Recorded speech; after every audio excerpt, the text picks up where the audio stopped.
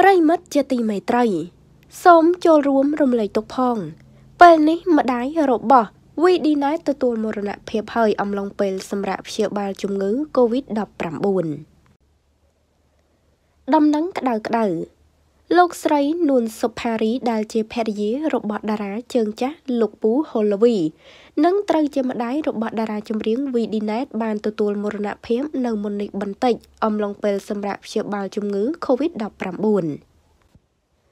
បើយោងតាមបណ្ដាញសង្គមផ្លូវការរបស់កញ្ញាវីឌីណែតបានបដូររូបភាពកាន់ទុកភ្លាមភ្លាមខណៈលោកហូឡាវី បានបង្ហោះសារថាអូនអើយសូមអូនវិលត្រឡប់មកផ្ទះវិញ មកប្តីអង្គុយចាំមើលផ្លូវប្រពន្ធទាំងទឹកភ្នែកតស៊ូឡើងអូន សាធុសាធុ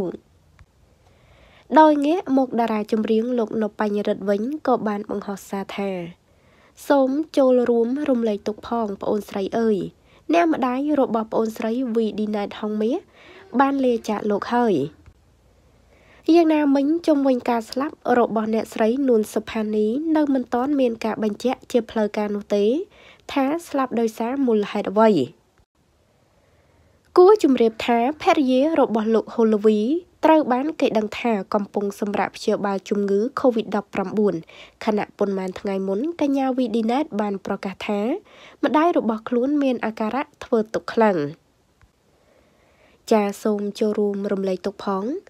ពេលនេះកញ្ញាវីឌីណែនបានបាត់បង់ម្ដាយជាទីស្រឡាញ់ហើយដោយអ្នកស្រីនួនសុផានី